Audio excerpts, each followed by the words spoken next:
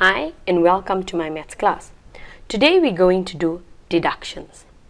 Now what you need to remember with deductions is that when I'm working with the vertical line then I am referring to the y values.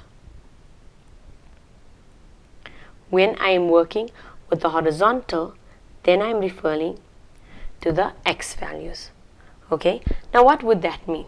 If I am working with the following coordinates 3 and 5 and 3 and 3.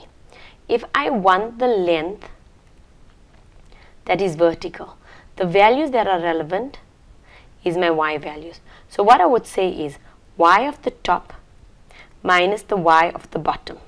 So I would have had 5 minus 3 which is equal to 2. So the length of this line is 2 units. Now if I was working with x, let's say I've got minus 5 and 2 and here I've got 6 and 2.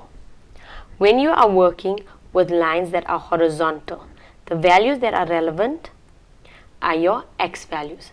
But what you're going to do is you're going to say x of the right minus x of the left.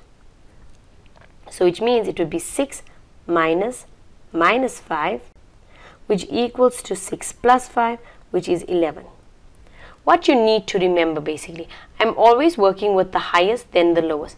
The highest then the lowest. 6 is higher than minus 5 so when we're working with length we are specifically working with the high minus low. But you need to remember that y value is a vertical line and x value is a horizontal line. Now working on the following right? If they say find the equation of EF you will notice that all the work in deductions is basically work that you have already done. It will be get the equations and then it will be simply substitution. Now to find the equation of AF, that is what you had done under get equations for straight line. In that we had taught you how to get the equation.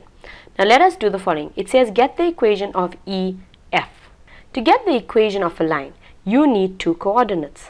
Now pupils are so busy looking at A and they're so busy looking at D that they don't realize that you know on the line of AF there is two coordinates. Here's one and here's the second one.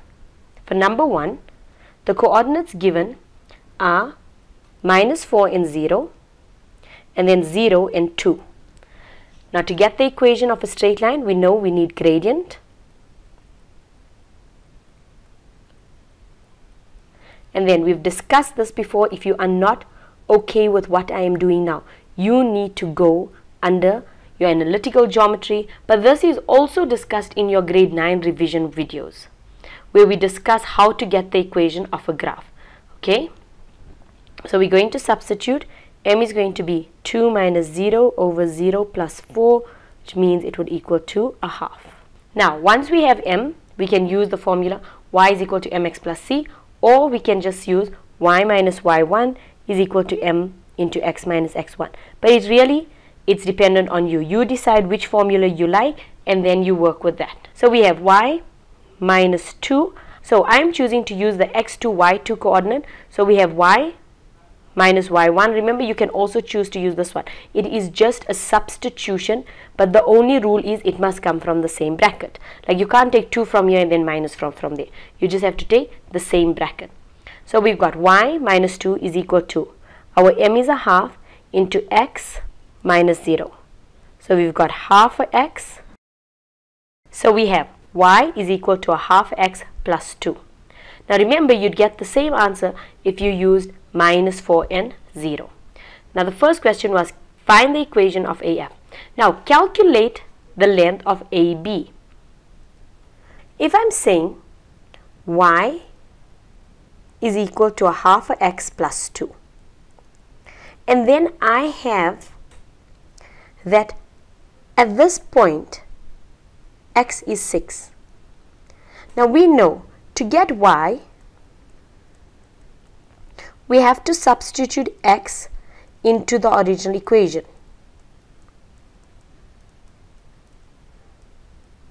So what does that mean? That means at this point if I want the y value, I need to substitute the 6 into this x.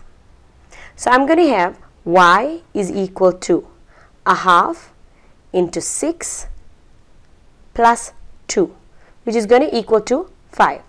So my coordinates for A is 6 and 5. Now why would I be so interested in the coordinates? When we want to calculate a length, the values that I'm interested in is the y values. So I need the y values. So here I have the y values. It's 5 and at this specific point it's 0. So the length of AB is going to be top minus bottom which is going to equal to 5 minus 0 so it's 5 units. Then they want us to calculate the length of CD. Now here again they are giving me the x values. So if I want to calculate the length of CD I need y. Why am I interested in y? Because it's a vertical length. Vertical lengths are y values. Now we know at that point it's minus 8 and 0. But what is the value at D? The x value is consistent. So I'm going to have y is equal to a half minus 8 plus 2 which gives me minus 2. But now look at what the equation says. The equation says y of the top minus y of the bottom. So y of the top minus y of the bottom.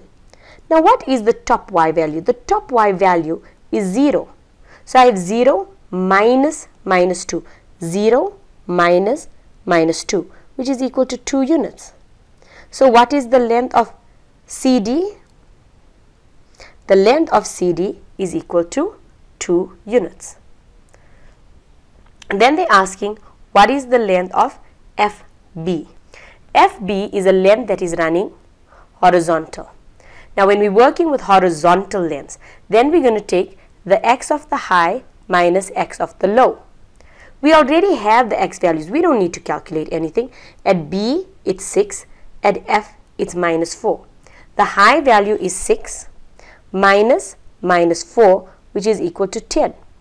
So the length of FB is equal to 10 units. Thank you for watching.